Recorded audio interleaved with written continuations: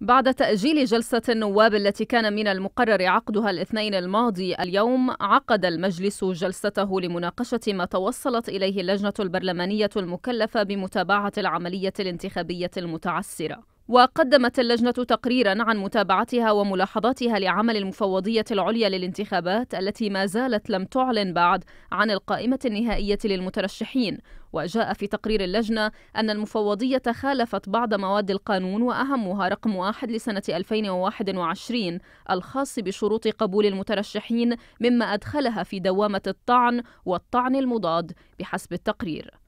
وجاء كذلك في التقرير أن المفوضية كانت قد أصدرت بيانا سياسيا بامتياز بشأن تحديد يوم الاقتراع وأنها لم تحدد بدقة ماهية القوة القاهرة التي تعثر معها إجراء الانتخابات في الرابع والعشرين من ديسمبر واقترحت أن يكون الرابع والعشرين من يناير هو الموعد الجديد للانتخابات ما يدل على أن مصير هذا الموعد سيكون كسابقه وفق اللجنة. وفيما يتعلق بتوصيات اللجنة البرلمانية فقد جاء فيها أنه لا يمكن لمجلس النواب التدخل في أحكام القضاء والمساس باستقلاليته ويجب على المجلس الاستمرار في رعاية العملية السياسية والتشريعية والنأي بنفسه عن الخوض في المواعيد السياسية التي تحددها بعض الجهات لغرض الاستهلاك المحلي أو للتسويق الدولي على حد قولهم.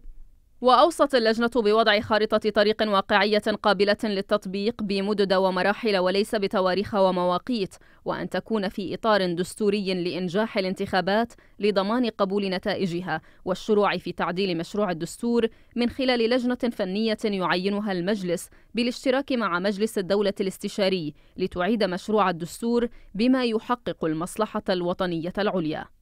من جهته طالب عضو مجلس النواب يوسف العجوري بفتح تحقيق مع رئيس المفوضية العليا للانتخابات عماد السايح متهما إياه بإهدار الوقت وعدم إقامة انتخابات الرابع والعشرين من ديسمبر في موعدها.